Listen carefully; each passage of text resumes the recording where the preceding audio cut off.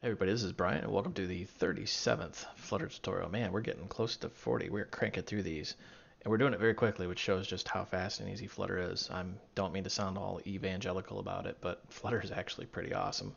So today we are going to do the floating action button. It's a little red button here. I'm sure you've seen it in like email applications or maybe Facebook or something like that. So we're going to go here. We're going to use our live template, which we created in tutorial 35 and you should know what all of this means. We have our main, we have our my app, which extends stateful, and we have the state of the my app. If you have no idea what any of those means, please rewind, watch the previous tutorials. All right, so now that we have our bare basic application here, what we're going to do is start working on the state. So we're going to say string, whoops, and we'll call this last press we're just going to say never. So what we're going to do is really just print on the screen when they actually press the button. So let's get this in here and we'll say last pressed.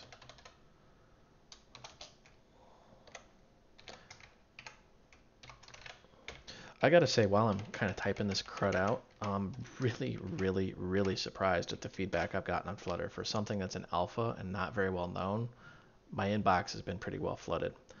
All right, so now that we've got kind of a rough idea of what this is going to do, how do we add the button? Well, in the scaffold, this is why we love the scaffold.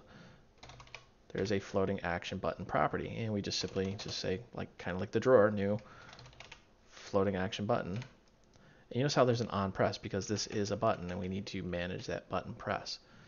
So we're going to just pop that down, pop that down so we can work with this a little bit here.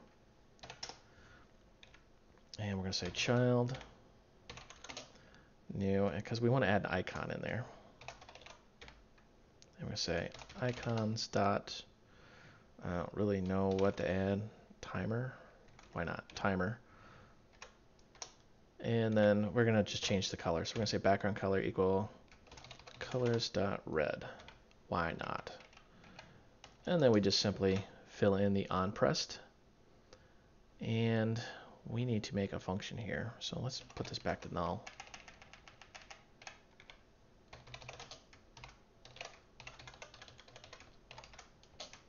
And this is where the magic's really going to happen here. We're going to say print, just for debug purposes. And then we're going to say set state.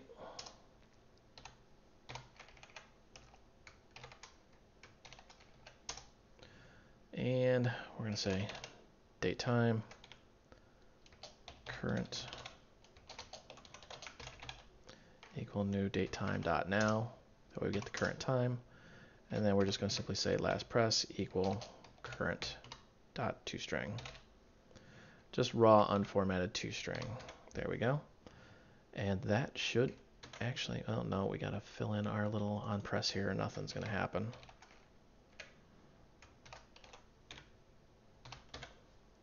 And voila, we will run this in our emulator here.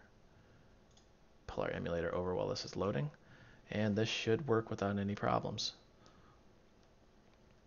So one thing that I really love about Flutter while this is loading, um, and it seems like the more I do these tutorials, the more I fall in love with Flutter, is that it's very streamlined, it's very easy to use, it follows a very simple design pattern. You notice almost every single tutorial has followed a similar design pattern to the point I actually had to make a live template.